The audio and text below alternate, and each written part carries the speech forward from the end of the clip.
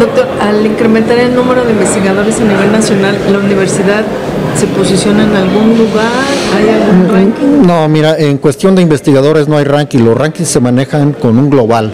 Por ejemplo, se toman en cuenta profesores de tiempo completo, miembros del SNI, miembros del PRODEP, este, eh, número de, de posgrados que tienen las universidades, alumnos de licenciatura, etcétera. Entonces todo ese conjunto forma un ranking. Actualmente en el ranking que está la universidad está entre las mejores eh, cinco de universidades estatales públicas.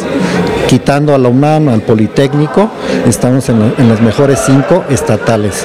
Pero pues si nos comparamos ya con, con a nivel internacional, pues, eh, eh, este, pues se va diluyendo el, el nivel.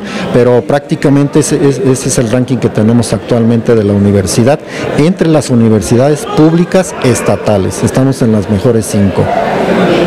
El reto para el año que Eh, el reto, este, pues seguir eh, con el apoyo a los proyectos de investigación, eh, hacer, por ejemplo, el día de hoy en este evento que, en el cual asistimos, se ve la transferencia de tecnología.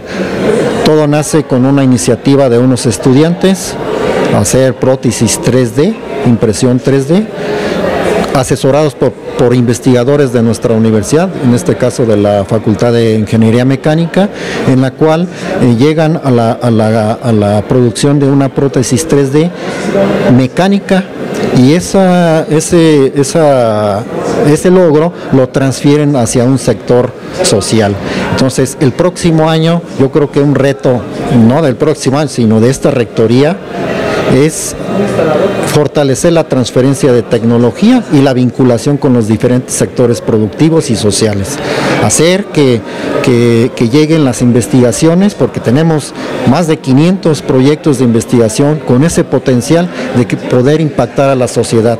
Entonces es cuestión de que existan las vías, los vínculos, por eso se le llama vinculación, para poder llevar a buen término todos estos proyectos. La universidad está abierta para, para que eh, también de la sociedad se acerquen a, buscar o a pedirnos que encontremos o demos algunas posibles soluciones a sus problemas. Eso es el gran reto para, para la coordinación, creo, y para esta administración al próximo año.